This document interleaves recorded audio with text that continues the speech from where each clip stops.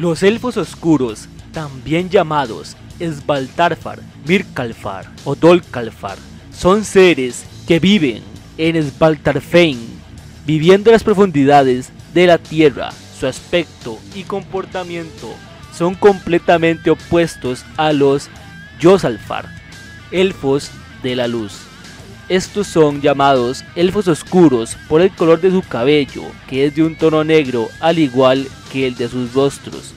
Se mantienen envueltos en una brillante luz violeta y sus ojos son claros, con dedos largos y delgados, eran considerados seres fantásticos humanoides parecidos a humanos altos y de gran belleza instruidos como guerreros en un principio, eran seres espirituales, ancestrales, que protegían a las personas y no eran considerados malvados.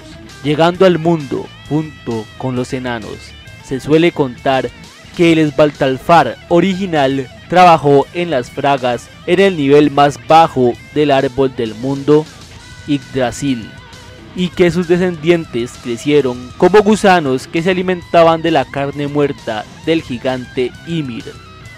Pero pronto obtuvieron el conocimiento de la nigromancia y de las artes negras, así como el manejo de las runas, poseyendo increíbles poderes, casi siendo capaces de superar la magia de Odín conocida como Seid.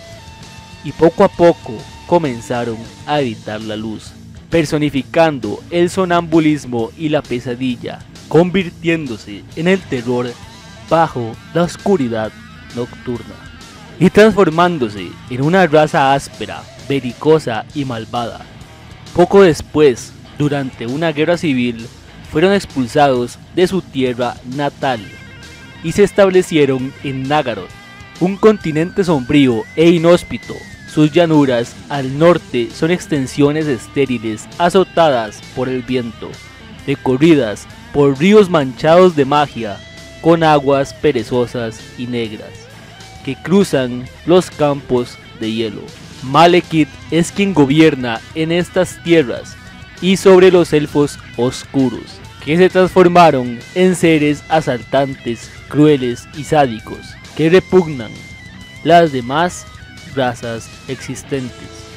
Este los guió a la conquista de Asgard, pero se encontraron con el dios Thor, quien demostró su furia arrasando con todo el ejército de los elfos oscuros y matando a Malekith.